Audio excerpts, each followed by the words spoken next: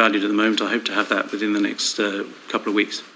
All allowances are now under review, including a controversial car allowance.